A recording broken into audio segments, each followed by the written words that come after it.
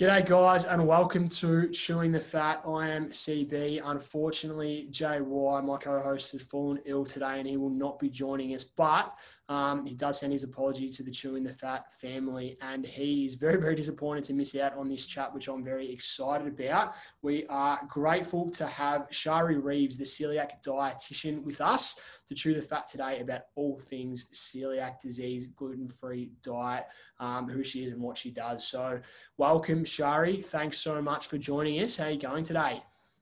Hi, Chris. Good. Thank you so much for having me. Um, yeah, I'm really good. I'm excited to be, yeah, speaking about celiac disease, my little passion. It's become the last, yeah, year or so. So excited to be here.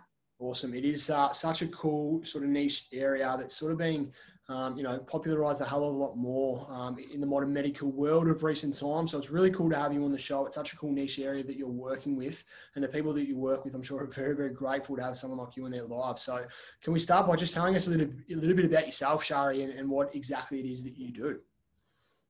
Yeah. So. Um, basically, I never envisioned myself becoming a dietitian.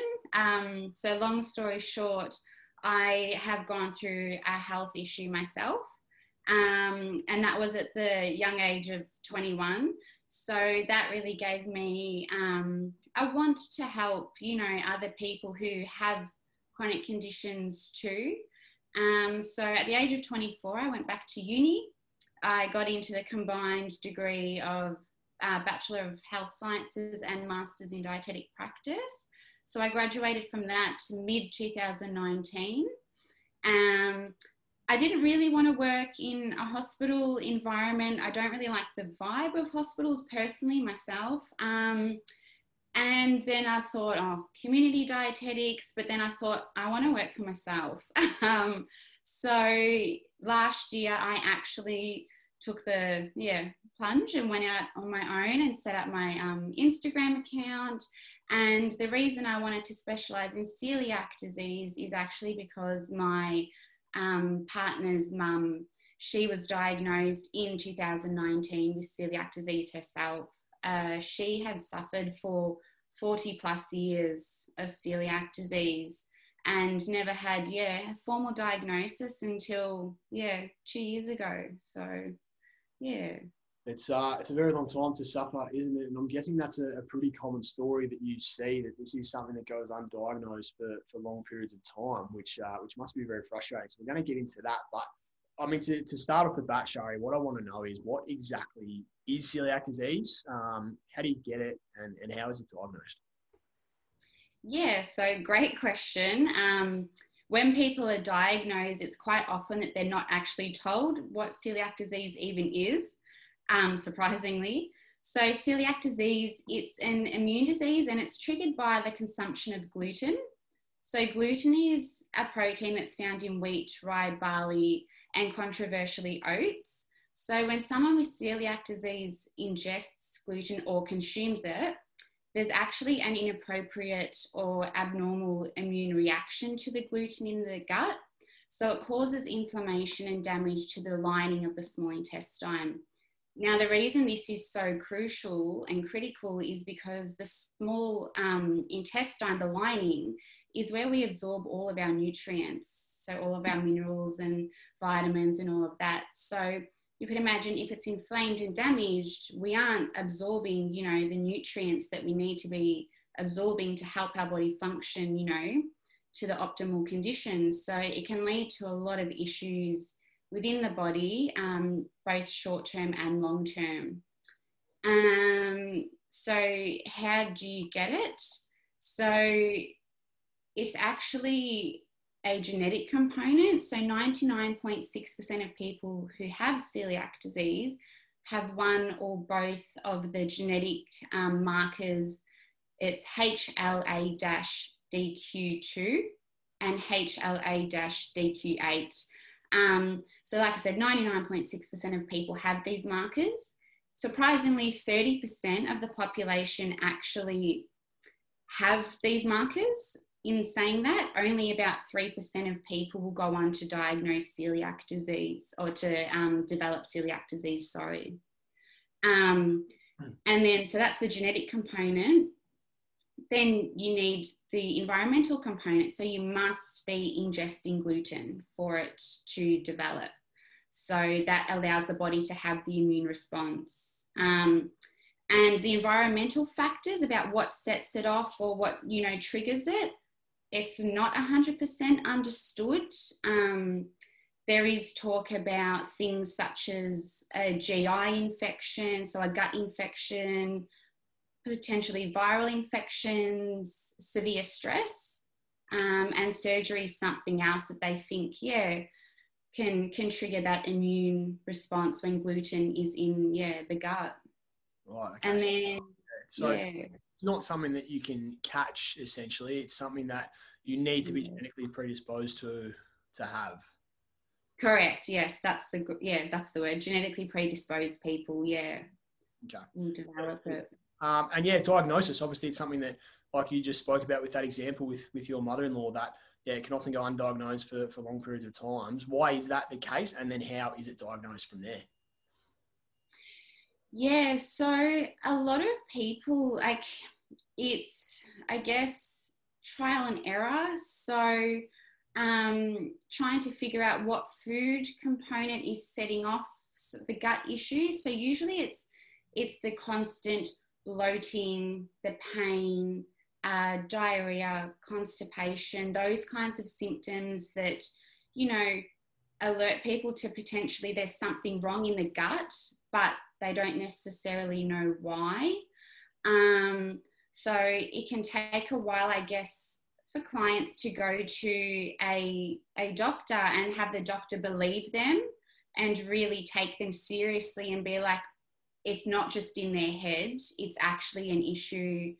Um, so there's, yeah, issues with, I guess, GPs to an extent. Um, and then people, yeah, it might be um, what word am I trying to think of? Like, uh, I guess, clueless to what type of food is setting off um, the issues in their gut. In saying that, a lot of people they do know that it's wheat that's setting them off. Um, so yeah, there's a there's a few reasons why it can go um, undiagnosed, and that like people just put up with the symptoms. Oh, I don't know what's wrong with me. I don't know. I just won't eat wheat. You know, it seems to be wheat. I just won't eat it. Um, yeah. And then, um, so you asked about how it's diagnosed. Was Yeah. that the next? Yep. Um, so essentially, there's three steps to diagnosing it. So they need to be eating gluten is the first main one. So if you've taken gluten out of your diet, the blood test for the antibodies it will come up negative so if someone has taken gluten out of their diet they'll need to undergo a gluten challenge so this involves eating about two four slices of bread wheat bread a day for about four weeks. Um, once that's undergone they can go and get the antibody test. In saying that, a lot of people who've taken wheat out of their diet because they know that it's impacting them are so resistant and hesitant to undergo the gluten challenge, which is yeah, which it's totally understandable. They're in pain, you know, they're bloated, going to the toilet. It it becomes a very mentally draining um, condition when it's yeah not treated. So um, in that circumstance, there is the genetic test that can be done to check for the one of the or both of the two genetic markers. Um, so instead of doing the gluten challenge, you can get the genetic test, and then if the genetic tests come back negative, well then you more than likely do not have it. It's like a small, like four, 0.4% chance um, that you have it. Um, if you do come back with the marker, then kind of need to work with the clients and explain to them why it's important that they do the gluten challenge in order to then have the antibody tests. And then if that's positive, the antibody tests, blood tests, they will need to go and get a scope. So they'll go down and they'll take some biopsies from the small intestine. Um, and that is the gold standard marker for diagnosing celiac disease. Right. Because you can see the damage um, in the lining through, yeah, like the the cells and yeah, what they take. I can certainly see the reluctance and hesitation to someone who has already got the knowledge that they're obviously not tolerating wheat or gluten in their diet, and then you're telling them that God, they need to go away and eat that for four weeks to be sure of the diagnosis. Like there must be a massive like pushback in in people getting told to do that challenge. Like that's yeah, you know that sounds awful. It does, it does, and it's funny. Um, so I work part time as well. When my partner's really busy, I work um, for him on the tools and I was just casually chatting to this lady whose house I was at, um, doing like my job there, and we spoke. We ended up getting onto the topic naturally, um, and she's like, "Yeah, my mum has celiac disease. Um, I'm pretty sure I have it, but I'm not doing the gluten challenge. Like, I'm not doing it. Like, she full just yeah, nah." And it's so common with so many people that I speak to. Um, they just don't want to do it.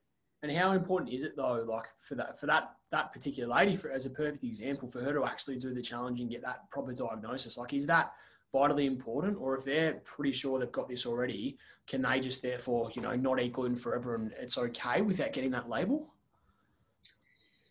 So the way I see it is um, having a diagnosis of a chronic health condition is really important in terms of follow ups and long term management and monitoring.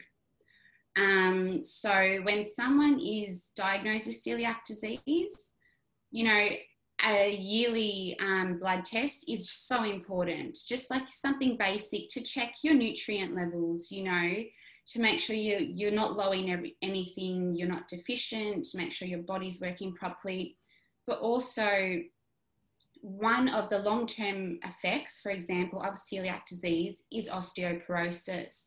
So, when you are diagnosed with celiac disease, you will then, well, you should be, doesn't always happen, um, you know, monitored via a DEXA scan, which measures bone mineral density. Um, so that is really important because it will show, you know, if you're likely to develop osteoporosis. And then in terms of that, you know, things can be, you know, precautions can be taken and, you know, you can go on particular medications to help, you know, with your bones and your calcium and taking supplements, making sure you're getting enough calcium in your diet. Um, so for things like, you know, long term consequences, I think it's really important. And at the end of the day, as painful as it is, um, celiac disease is not an allergy. You're not going to die from doing a gluten challenge. I know that sounds really harsh and, you know, like you're not going to die. Yes, you are going to be very mentally drained, in pain, uncomfortable, you know. Um, but there's also other ways that we can manage your discomfort during that time as well. Um, yeah, so that's my view and opinion on it, um, just in terms of long term consequences, managing, you know, chronic health conditions is so important. I, um, I, would imagine as well, you know, you said initially that people would go to GPs and, you know, they're either not well educated on celiac disease or they don't send them for the right tests or they might not take it seriously, for example, in some cases, which is probably pretty, pretty frustrating, pretty sad to hear. But I imagine if you do go through that challenge and, and do get that label and that diagnosis, then it, it probably allows the whole management plan and the whole healthcare system to take you a little bit more seriously so you can get the proper care. Is that fair to say? A hundred percent. Um, you know, a lot of the times people who have been diagnosed with celiac disease still feel like some of their signs and symptoms aren't taken seriously, even though there is that diagnosis. So you can imagine if there isn't a diagnosis, you know, how much more uh, it's just in your head.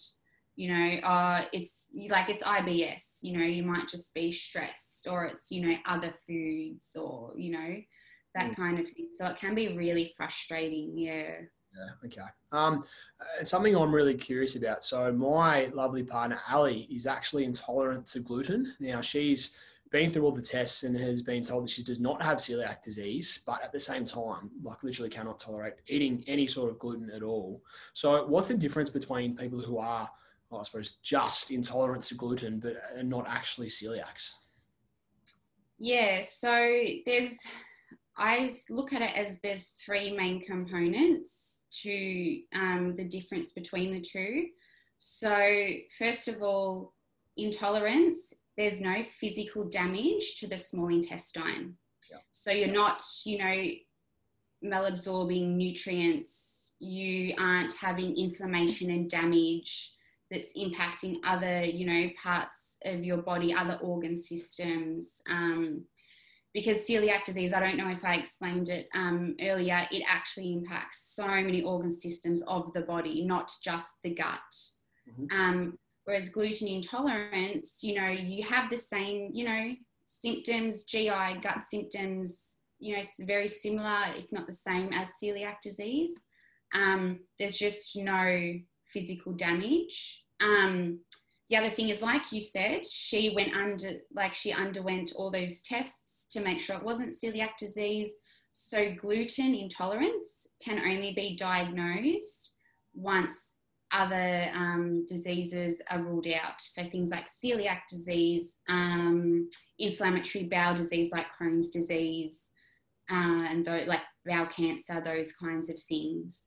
And then the third um, component that I look at the difference is when you're gluten intolerant, you do not need to follow a strict gluten free diet um, because there is no damage occurring. So in saying that, most people who are intolerant do not want one bit of gluten, as you would probably know, yes.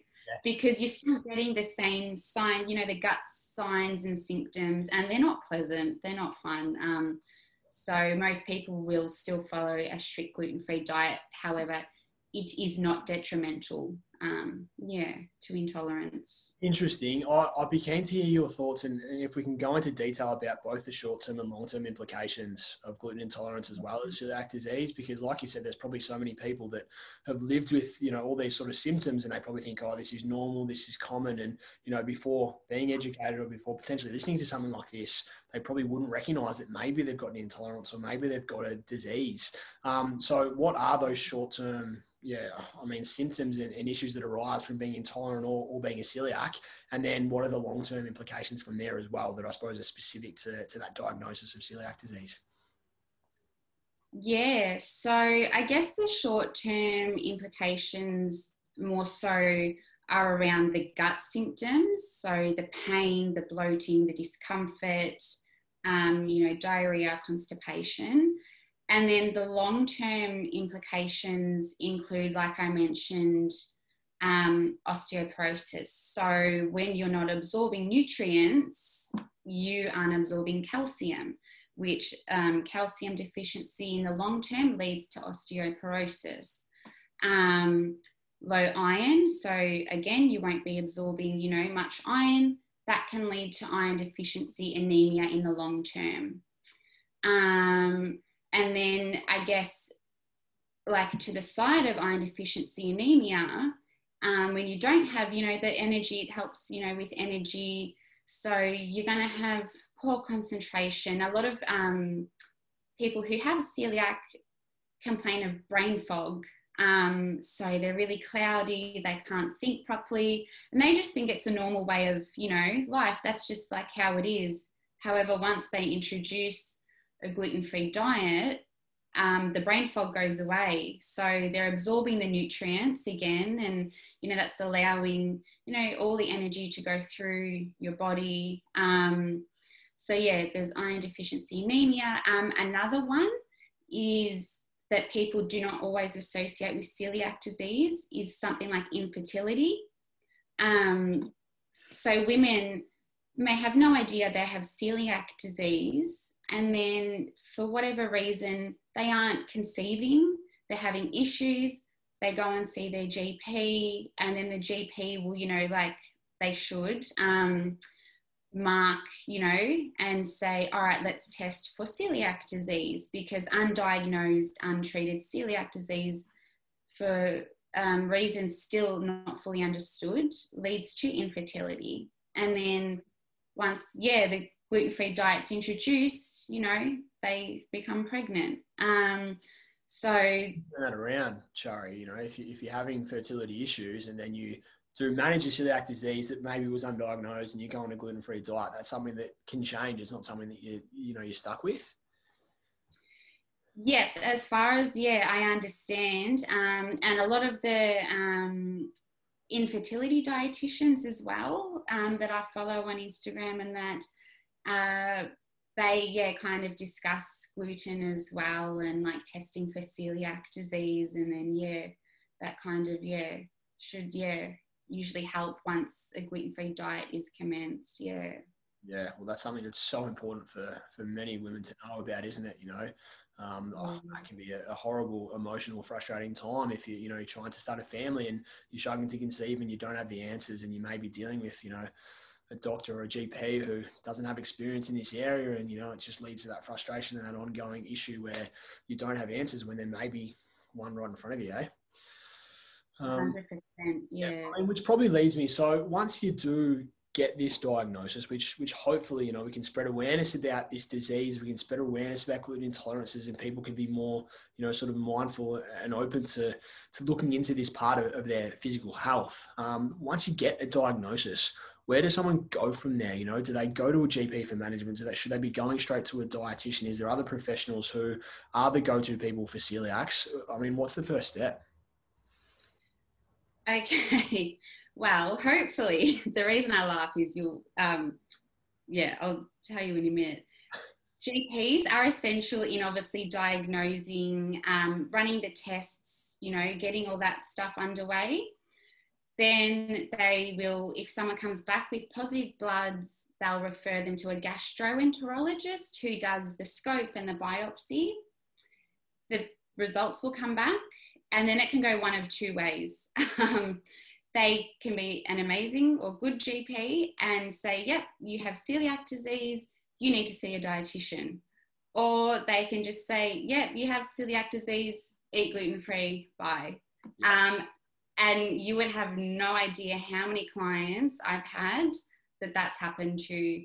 Um, it yeah, it blows my mind. Um, I guess in terms of celiac disease, the only treatment at the moment is a strict gluten-free diet. Like that's the only way that you can, you know, successfully manage it. Um, and the amount of GPs who don't refer patients on to dietitians is quite big.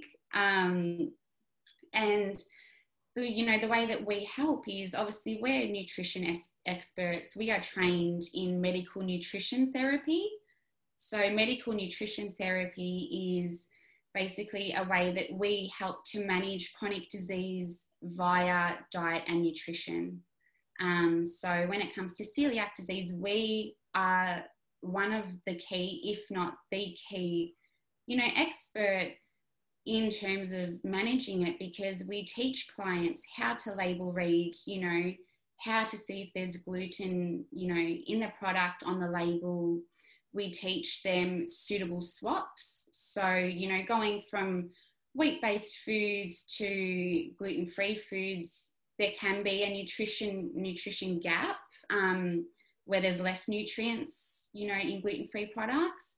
So we can help give them substitutes that are going to keep, you know, their nutrient levels up so they're not losing as much. Um, yeah, so label reading, um, ensuring nutritional adequacy, um, and then correcting any nutrient deficiencies via diet as well. Um, so we kind of are the key, you know, um, a key component. And then also depending on the long-term effects, um, a lot of my clients have neurologists as well because you um, it's yeah a common thing where there's neurologi- neurological conditions um, which are usually due to nutrient deficiencies so people can get numbness and tingling um, things like epilepsy um, yeah early onset dementia as well is another thing that's been linked.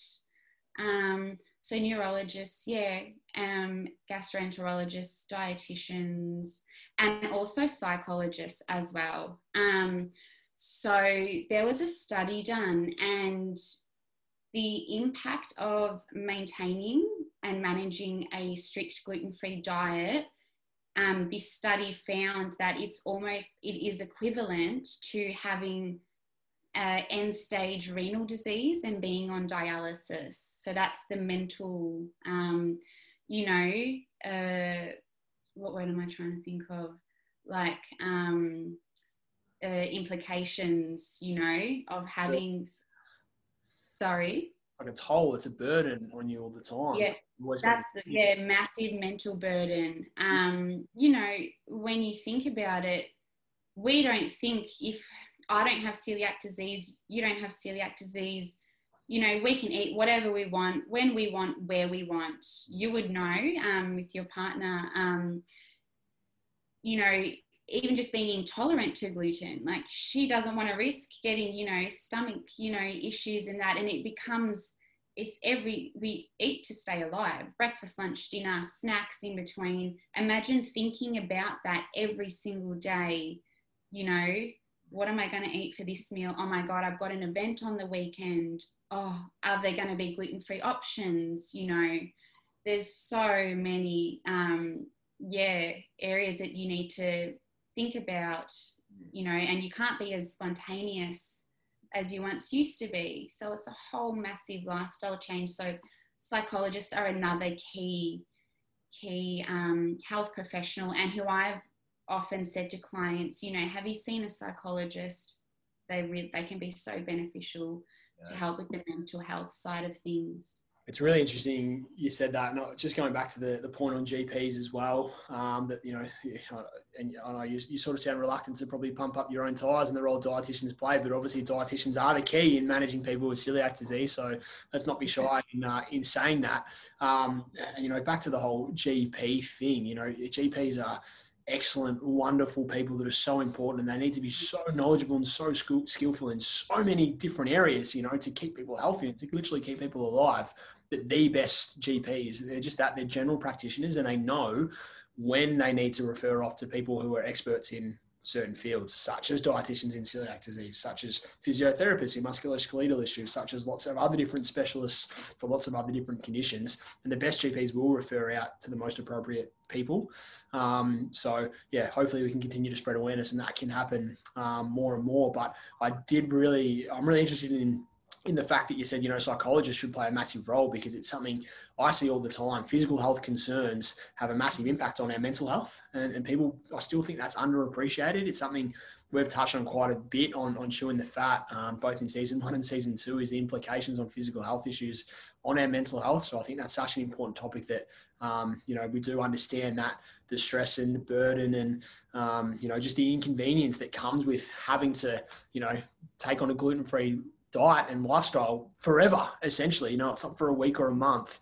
Um, that's you know, it's hugely stressful. It's hugely inconvenient, and and you know, the social implications and eating out and all that sort of stuff and the difficulties we have is something we're going to touch on. Um, but yeah, I think that's such a, an interesting point.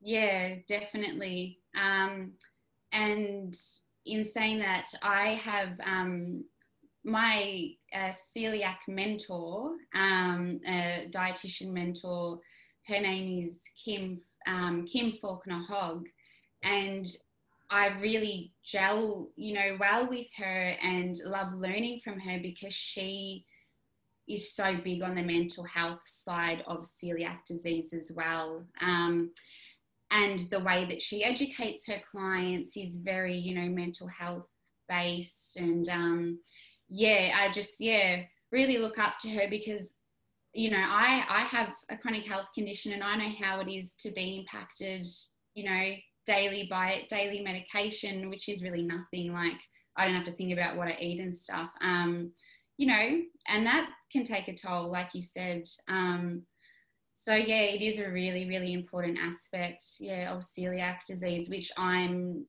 all for advocating about. Yeah. Yeah. Um, an interesting topic that that, that JY, my co-host, who's unfortunately not with us today, um, really wanted to chat to you about was there's, there's become, I think, um, a bit of a stigma around celiac disease and, and eating gluten free to the point where it's almost become a fad. You know, it's it has become popularized, which is a good thing. But I think there are, you know, you know, probably not correctly, but there's a certain you know, a small percentage of people in society that say, oh, celiac disease, like, is that even a thing? Like, why are you eating gluten free? Like, are you just trying to be healthy? You're just trying to be a hippie? Like, it's become this fad and a bit of a stigma. There's a bit of a judgy sort of thing around it, which it shouldn't be because it's a real thing. Um, is that something that you sort of see and deal with and, and can appreciate? And, and yeah, what's, what's your thoughts on, on that sort of stigma almost that's, that has come about to some extent? Yeah, so it makes it, you know, really hard for those who genuinely, you know, have celiac disease and and they need to go out and, you know, they feel like a burden, you know, because some waiters are just like, oh, like, you know, I've heard stories of, you know, people going out and they're genuinely like have celiac disease and the waiter kind of just like brushes them off and, you know, again, there's the mental, you know, mental health, you know, implications that they feel like a burden to other people. Yeah. Um, so yeah, I think I don't really know where the stigma come from per se.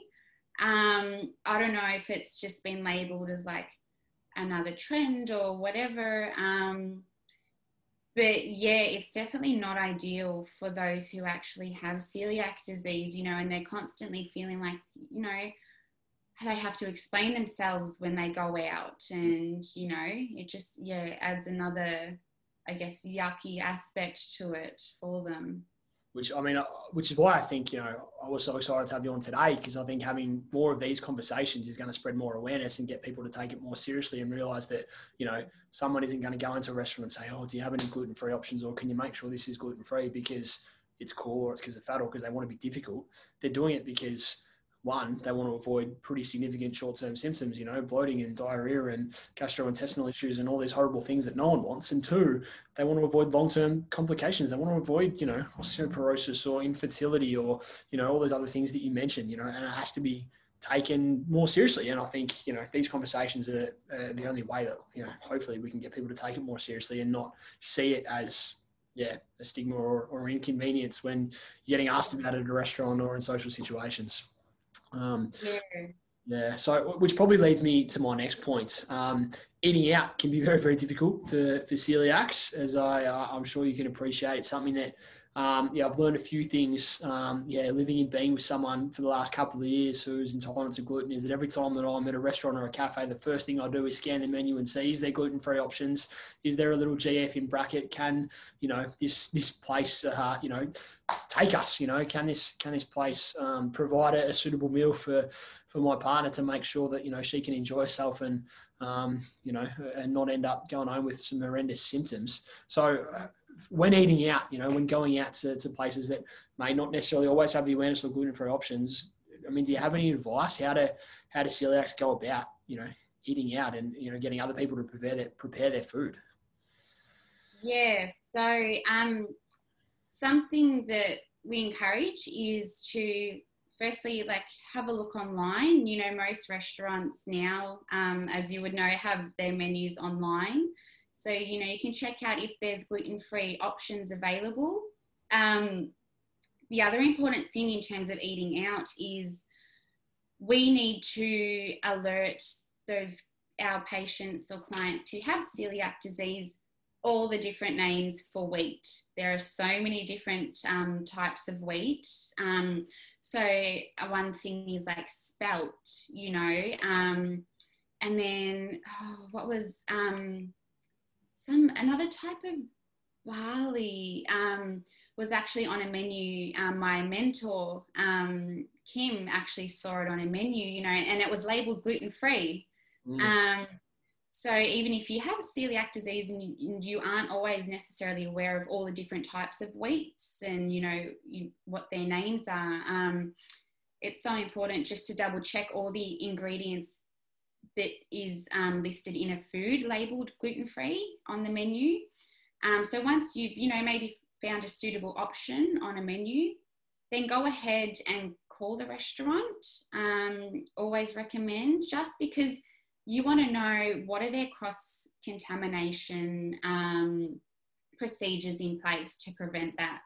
So calling up, you know, if there's a gluten-free pasta, asking something simple as, do you cook the gluten-free pasta in a separate pot or the same pot as wheat-containing pasta? Um, you know, making sure that the, the two pasta waters are separate. Um, do you have a bench, you know, that's dedicated to preparing gluten-free food, um, just to make sure there's no cross-contamination? Um, so calling ahead and asking certain questions like that. And then I guess another place that people can get caught out, um, which is important to know, is like things like wedges and like grilled fish. You know, sometimes they can have a coating of flour just to give them a bit of, you know, make them crispy. Um, that will contain wheat. You know, so asking, do you use gluten-free, you know, flour if you have wedges? You know, what what is the flour on them that makes them, you know, crispy or on your fish?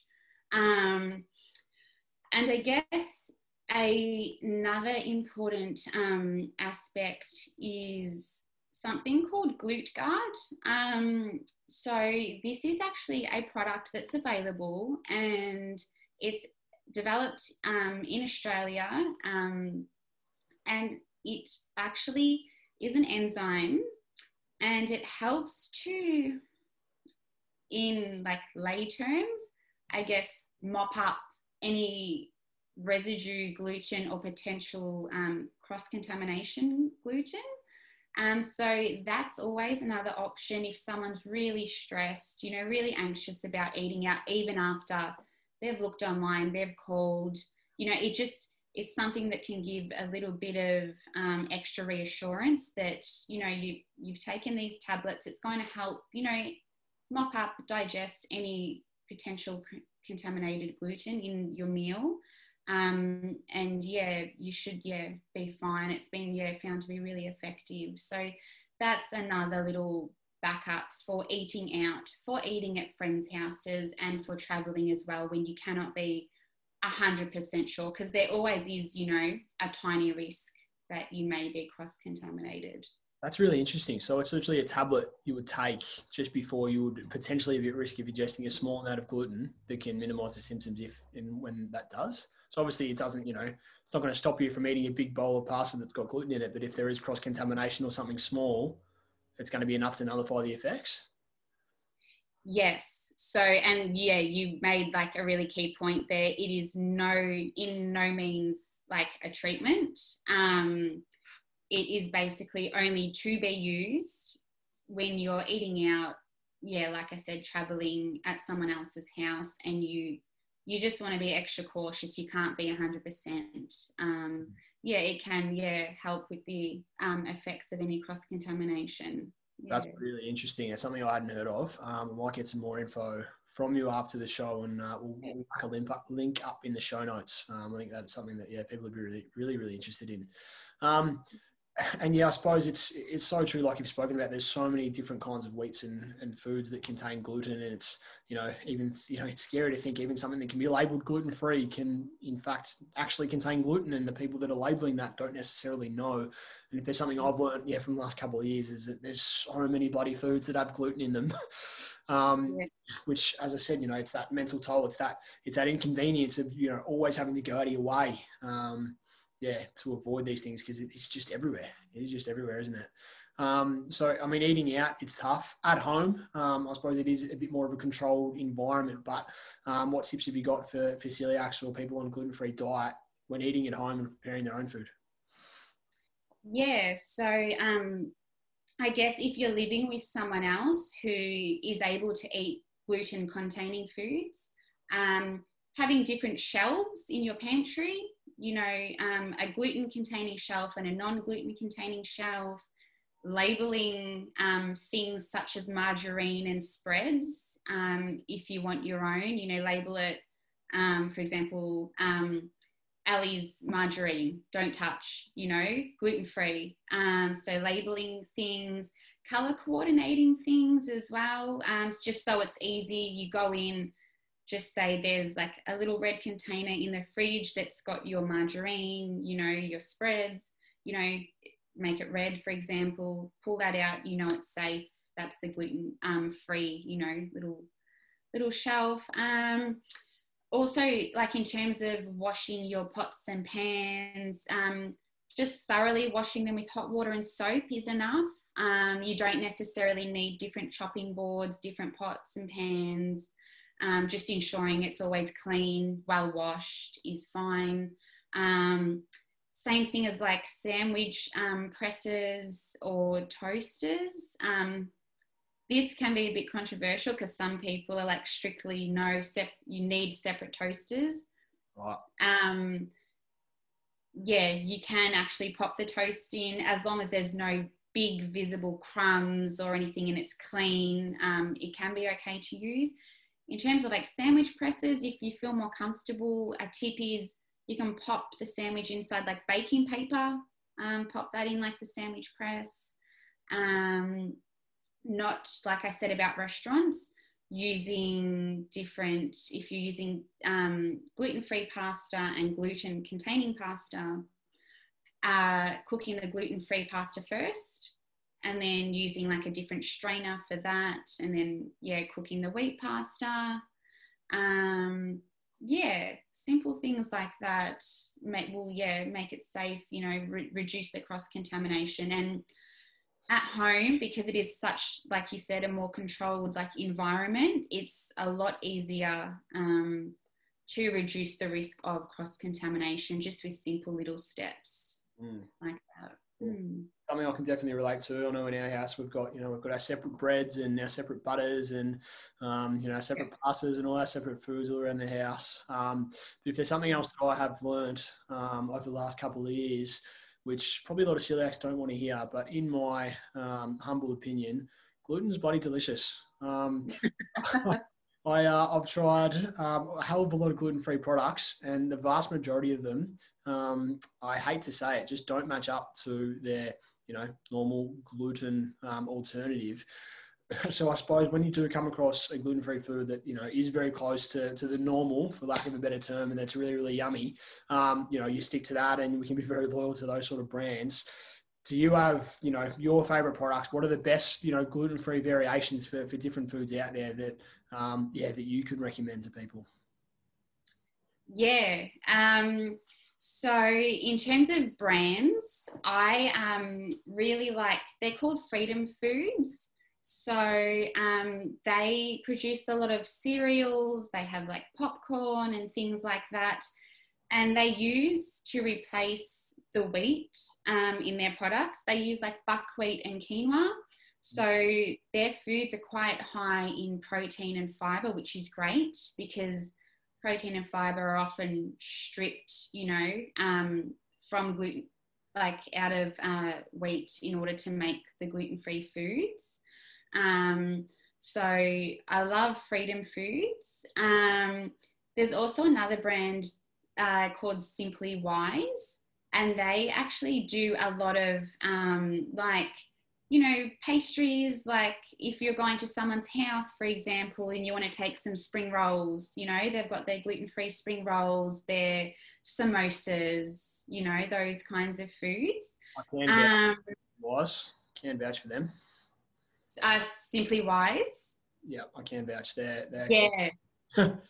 yeah they are good. Um And then in terms of um, gluten free foods that are not packaged, so when I'm looking at gluten free foods, I kind of put them into two categories. So the packaged processed ones, these ones awfully often are quite reduced, like I said, in protein, in fiber, in other nutrients like B vitamins. Um, and then there's you know your whole whole foods that are unprocessed you know unpackaged. So things like vegetables they're gluten free fruits gluten free um, you've got legumes and lentils they're gluten free so you've got nuts and seeds you know you've got all these really rich nutrient dense foods that are naturally gluten free so i i love promoting people to eat them just to keep up you know their whole foods um, intake just because they are yeah up, sorry. These are foods that I mean most of us should be eating pretty regularly anyway, right? A hundred percent, yeah. So um, these foods fall into the five um, food groups uh, as uh, according to the Australian Dietary Guidelines. So the five food groups, um, you've got vegetables, fruits, you've got your grains, which is where most of the the wheat and gluten is contained. And then you've got obviously like your meats and alternatives, your dairy and alternatives. All five food, well, minus grains, um, the other four food groups naturally in their natural state don't contain gluten. Um, and yeah, like you said, generally the population, we should be eating more of these groups.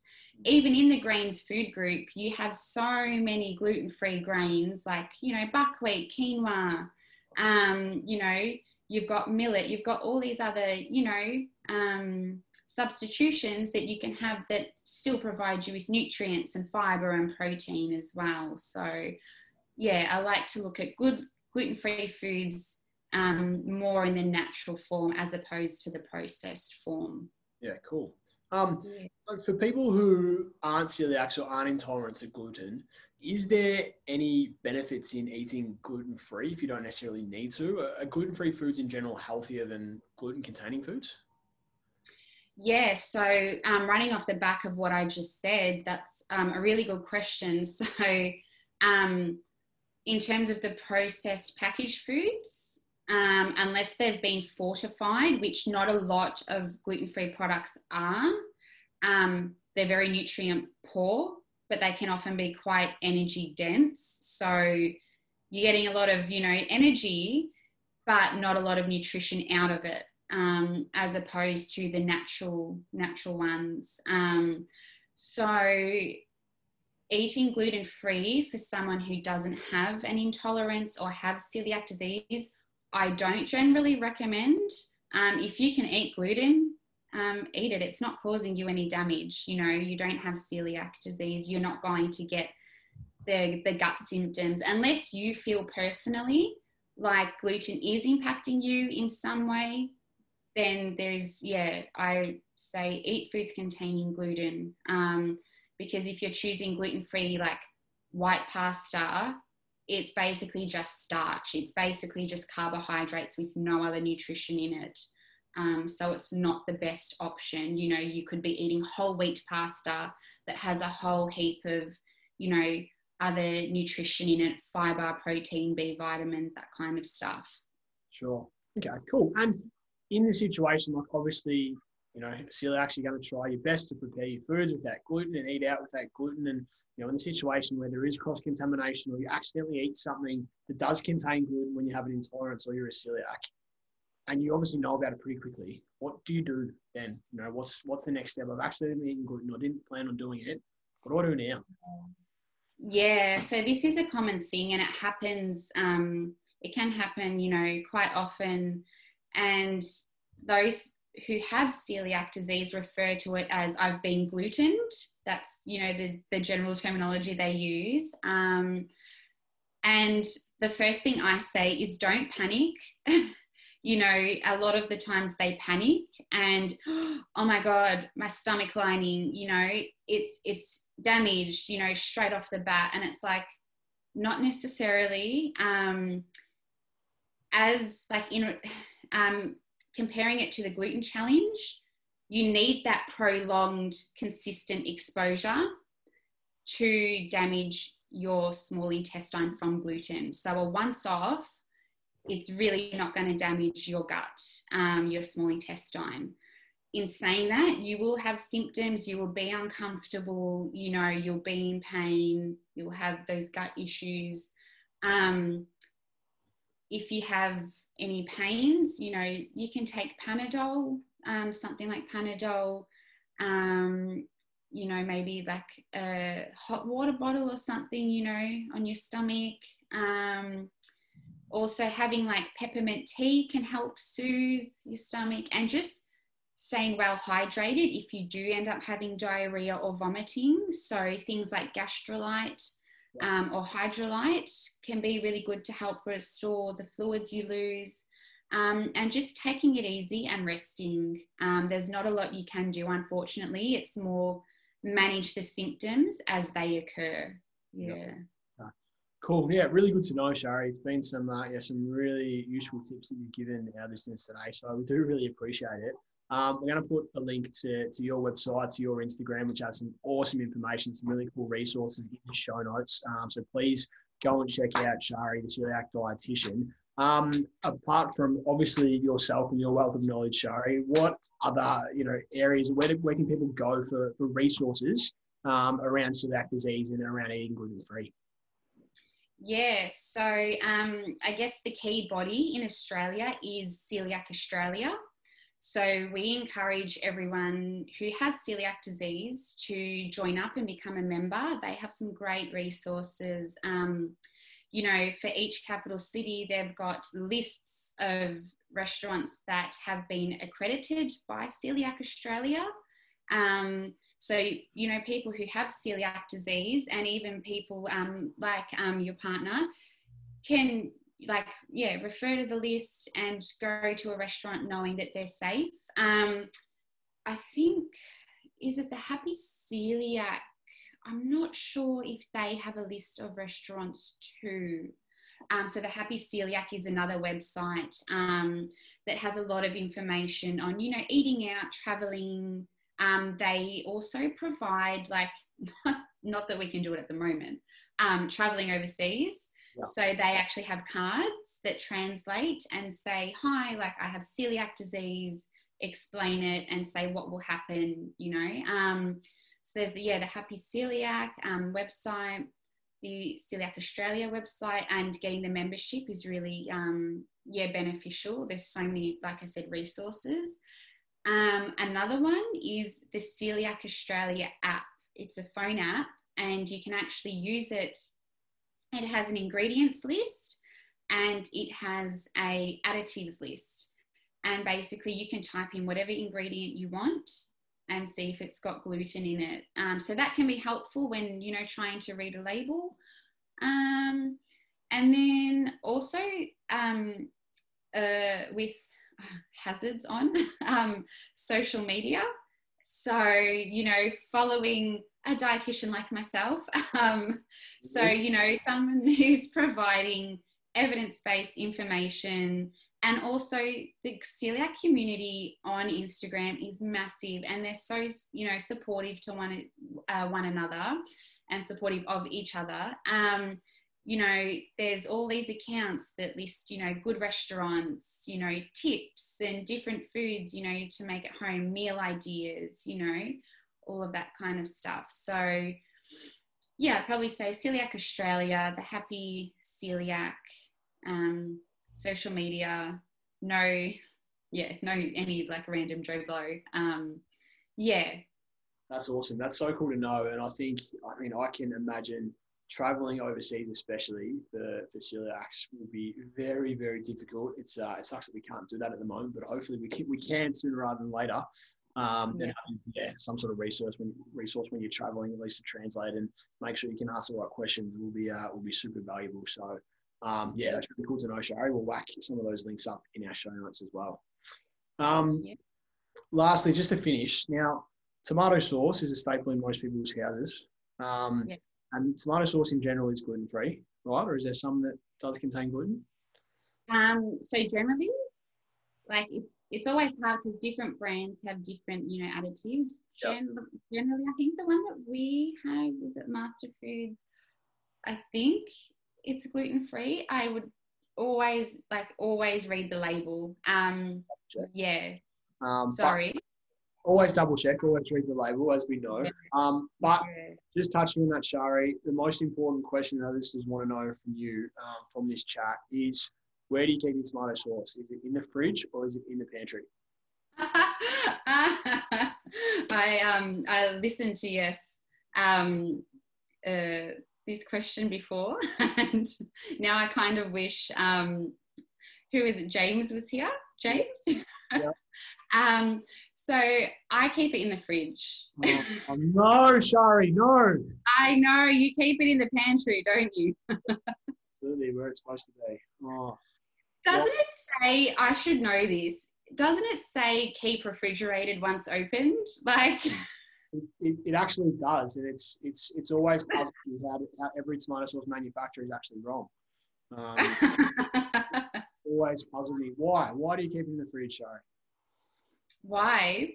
Well, because if I'm eating something hot, I want that coolness. Like, you know, I um I've got down a bit. respect for you, Shari, and now I've got a little bit less. But that's okay. You're entitled to your opinion, even, Oh if, no. even if it's incorrect. was... Sorry. And you're entitled to your opinion, even if your opinion's wrong, Shari. okay, Chris. Um, no, but in all seriousness, thanks so much um, for coming on and chewing the fat with with me today. Um, it's been brilliant, and yeah, for people who do have an intolerance or, or are celiacs, I think yeah, these sort of conversations, this sort of information that you've given us um, is so so valuable. Um, and I'm sure a lot of people are really gonna gonna enjoy it. So um, yeah, I know that I've I've learned a lot, and it's really opened my eyes to a few things. So yeah, thank you so much for for coming on today, Shari. It's been an absolute pleasure to have you. No worries. Thank you so much for having me. I appreciate it. Um, and yeah, just being able to help spread the word about celiac disease. Um, it's just so important, you know. Um, 80% of people don't know they have it. So if I can, you know, share a little bit of information that, you know, triggers someone to be like, I'm going to go, you know, get this checked out and yeah, um, looked at. Yeah, it yeah makes a makes me feel yeah really good so Absolutely. Well, you're doing some great work, Shari. So thanks again. thank you chris bye